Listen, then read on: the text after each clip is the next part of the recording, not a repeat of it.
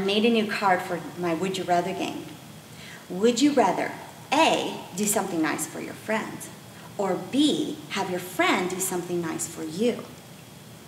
A lot of people like having friends do nice things for them.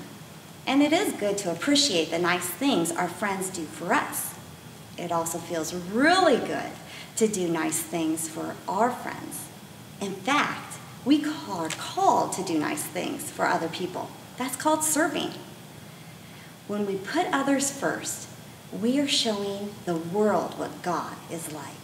For example, if there was one bag of animal crackers left in your home, who would get it? A sibling? A parent? You?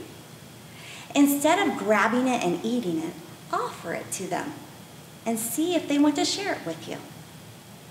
Sometimes it can be hard to put others first, since we want to be number one and to have things go our own way. But following Jesus means looking to the needs of others first. Let's pray. Thank you, God, for making us in your image with the same mindset as your Son. Guide us to be humble and obedient and to do your will to serve the people around us. We put our faith, love, and trust in you. In Jesus' name we pray. Amen.